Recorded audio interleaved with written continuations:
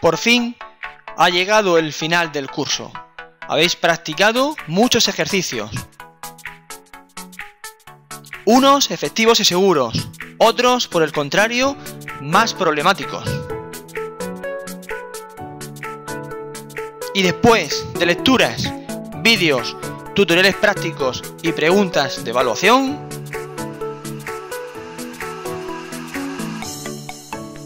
seguro que sois capaces de elegir unos ejercicios u otros con buen criterio.